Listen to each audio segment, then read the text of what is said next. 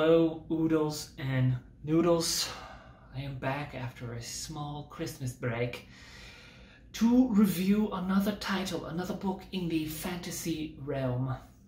Today I wanted to talk about J.V. Jones, The Baker Boy. Now, this whopper is quite an interesting novel. It is the first book in a three-part series, and it is different. It is stylistically old school, but simultaneously it kind of reads like a YA novel in a certain sense. The flow and the pacing and just how everything fits together makes this an incredibly easy read. So if you're someone who's looking for a rather hefty novel, it hits about 500 pages, but something that you can kind of blow through in two days if you want to. Uh, this is a nice little find. It's quite old in the sense of it, it borrows a lot from David Eddings, uh, the Belgariad style. You, you, you definitely get a lot of the young boy who thinks he's one thing ends up being another, uh, develops some powers along the way, and is trying to figure out life. It's it's very hero's journey esque styled, and that kind of lends itself to the story in a positive way. Although the major issue I have with this novel is that there's not that many characters in the book. You basically have your main character, um, who is a oh, I want to say a baker's boy again. For all intents and purposes, he's the apprentice to the baker at a castle, and at this castle, the king, King Lesketh, is dying, and so this young boy is sort of just living his life, and you're introduced to some further characters. One is Baralis, who is the king's chancellor. You're introduced also to Melliandra, who is the daughter of uh, the richest noble in this kingdom, Maybor. And you're seeing all their point of view. So Baralis and Maybor sort of play a counterpoint. I suppose you could say they're the enemies in this novel, although Maybor sort of serves no purpose towards our main character, Jack. And Baralis is intrinsically tied up with everybody, Melliandra, Maybor, and Jack, but it, it, it's very, very confusing how J.V. Jones decided to showcase these. Generally speaking, most novels, you'll get maybe one or two points of view within one singular chapter. Now, some people do differently, uh, but generally speaking, it kind of fits in that. Like you'll have a chapter dedicated to mostly one person. Um, J.V. Jones makes you see through almost every single person's point of view per chapter. And on top of that, we also have another main character, Tawl, who's going through a separate journey um, that involves many different things, but are, is sort of in a search for a mysterious boy that he's been charged with finding. And for most of this book, that's pretty much the story. It's just you're hopscotching back and forth through these five characters, many times within the one chapter, just popping back and forth, back and forth, back and forth. And many times, most of what's happening to each has nothing to do with the other one. They sort of tie in together in a certain way, but it's mostly just kind of, let's say, two characters going at each other, two characters involved with each other, but they're all sort of playing in the backgrounds. Now, it would have been, in my opinion, much better to see each character sort of get a chapter more to himself or herself so that we could really develop them out. Instead, because we're kind of bouncing back and forth, it, becomes a little bit too erratic and you don't always see the point of why you're involved in a character's life. Uh, Jack is obviously our primary character, and so that makes the most sense to kind of focus more on him and, and his involvement with Melliandra, uh, another character, they kind of tie together, but many, many times when you're seeing Maybor or Tawl's journey, you're like, why am I here? Why am I here? Not to say that they're not enjoyable, that they don't sort of filter in, but you're you're you're just you're not seeing the point. Now maybe in book two and book three, these all come together, but it's kind of annoying at the beginning. It's it's just too many points of view popping back and forth. That's on top of I'm being generous because you do actually see other people's point of view quite often. And so there's many, many points of view of people just popping in and out and the side points of view, I would say, uh, are, are, uh, you could argue that the only two main points of view would be Jack and Baralis, so enemy and hero, so to speak.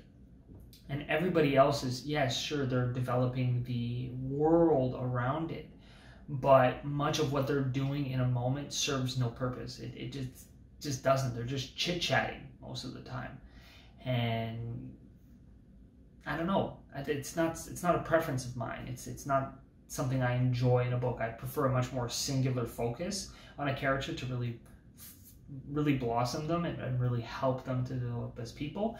And so the reason I haven't really said what the main overarching plot is is because there doesn't really seem to be an overarching plot in this book at first. It's just character development, but much of the character development is so scattered because you keep hopscotching between people that it's not really happening. Overall, the, the main plot is that there's a kingdom, the king is dying, and you kind of know why.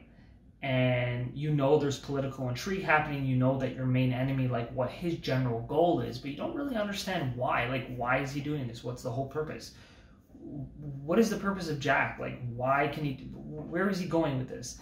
And J.V. Jones tries to give him some emotional development. Like you see his character making these realizations and saying like, oh, you know, I thought my life was like this, but actually there's this and this. But again, why why do I care? What what is the, the the general purpose? Like what is the end goal? I don't really know. And I'm I'm being a little bit harsh on it because again through the character development you are sort of seeing things happen to people things are going down there are events taking part but you mostly, in my opinion, don't really come to know and really care about the characters. Like is a perfect example. Maybor is this rich noble, and he's the father of Melliandra, who is sort of the direct romantic interest of our main character Jack, although it, it's kind of scattered in that sense as well. And I don't really know why I'm following Maybor. I, I can understand him being a character in the book that we hear about, that we see doing things. But why is he a point of view? Why am I reading from his perspective? I don't really understand why. Why am I reading from the perspective of certain other characters? I don't need to. They can be that mysterious enemy or that mysterious person doing things, and I kind of understand who he is through the actions he takes. I don't need to know his deep inner thoughts. It's just not necessary. And everybody sort of intrinsically understands this. Even in, for example, something like the Stormlight Archives, the first book um, in um, Brandon Sanderson epic series, in The Way of Kings, he has these little chapters where we're introduced to random characters that you could say, all right, it's kind of weird. Why am I suddenly having this point of view? But the reality is actually is every time you get those little little it's and it's usually like four or five pages, so it's extremely short. You get these side characters that then expand your understanding of oh, there's these other races or oh, there's these other cities, and it's teaching you about Spren to to open up your mind towards Spren, who are the, the magical creatures living in the world of Stormlight Archives. And so they make sense. These little, little short, short punctuated point of views of random people who you never see again actually give quite a bit of depth and understanding, at least eh, helping you expand your mind and how you think about the spread of the world. Whereas I spent a huge amount of time with Maybor in the series, and I spent quite a bit of time even with Tawl, uh, who is, who's very much so sort of more like the second main character of the series. And a huge amount of the time I spend with him, I, I frankly don't give a crap about him. Like I don't understand why I'm I'm there with him. What am I learning? What am I getting? Uh, it's only near the end of the book that you actually start to see like some kind of hint and backdrop to his story and understand a little bit more. But the buildup just sort of fell flat. Um, even pretty bad things that he did uh, that were forced upon him became very emotional moments, but I felt absolutely no emotion towards it because the character that it happened towards, I barely knew. So that character would have made more sense for me to have more of a point of view so that I can understand why I'm supposed to care that that person got hurt. You know, so J.V. Jones, I think, made something interesting, and to be very, very fair, I think very possibly book two and book three will expand and actually make us care a little bit more because things will make a little bit more sense. But in terms of a first book in a novel, it just doesn't really draw you in. Um, it just so happens to be such an easy read that the pacing and the flow of it works so well that you can kind of blow through it and still feel a certain sense of pleasure. But at the end of it, I just I didn't care about Jack. I didn't care about Melliandra.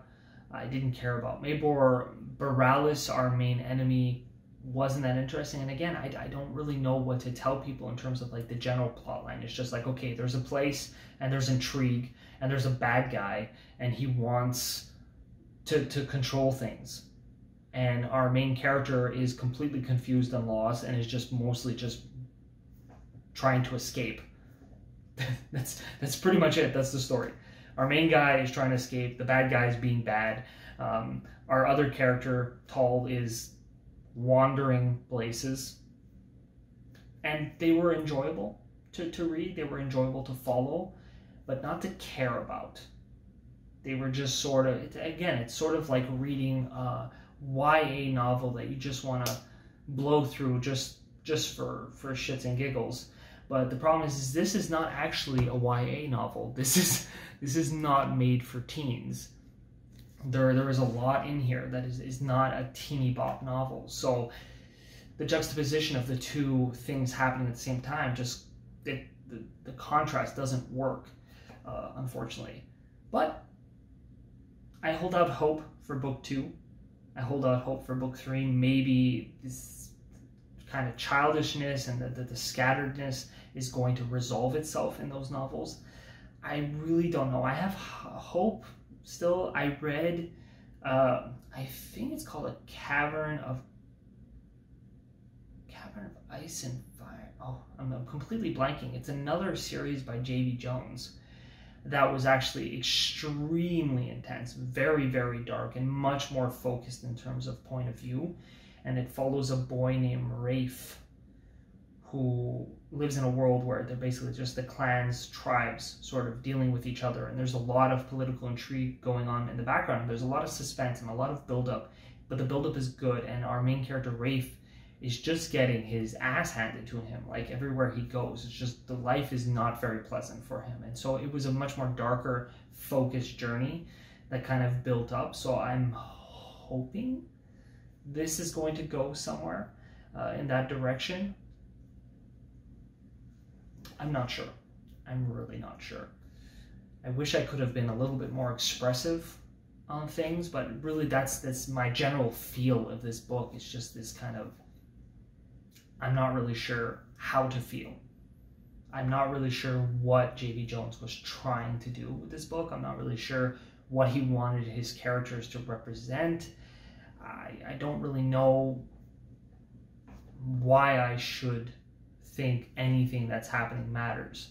Um, for example, I, I, I, also did a review not long ago of uh, Memory Sorrow and Thorn from Tad Williams, the Dragonbone Chair, and that was a very, very, very slow burn book. But and there was a lot of foolishness and a lot of time spent with the main character just skedaddling and doing random things, but even though it took me so much longer to finish that book, I understood right away where this was going, that it was a very, very slow burn, and I could see my character's development. It made sense. It happens over the course of two months. You understand that this happens, that happens, and he's slowly building his character through his interactions with people. Whereas this one, it was just like, okay, okay, okay. Oh, all of a sudden someone says something to him, and we're supposed to be like, oh, character development because he had a five minute conversation with someone. I'm just not feeling it. Uh, maybe it's because the character Jack in this book is made to be quite a bit more intelligent than his station in life uh, and due to the things that happen to him. But you just don't feel it. You don't get, you don't get to see that development. You don't see his growth really. It just kind of bounces around a little bit too quickly. I feel like I'm repeating myself over and over again, to be honest. So I'm going to leave it at that. Check out this book if you want something that quite possibly might become something really great in book two and book three. Uh, if you're very, very patient with it, at the end of the day, it's a relatively easy read, even though it's 500 pages. Uh, so I would check it out, see what you think. Let me know down below in the comments if you are seeing it from a different perspective than I am. But I'm just, I'm just not, I'm not, I'm not getting captured in. I'm not feeling the emotion that I should be feeling, and maybe it's just because I'm not looking at it with the right perspective. So let me know what you think. Uh, check out the website geektales.ca and like, comment, subscribe if you want. You know, uh, if you enjoy me rambling in random ways every once in a while. If not, uh, thanks for checking in. Farewell, my friends.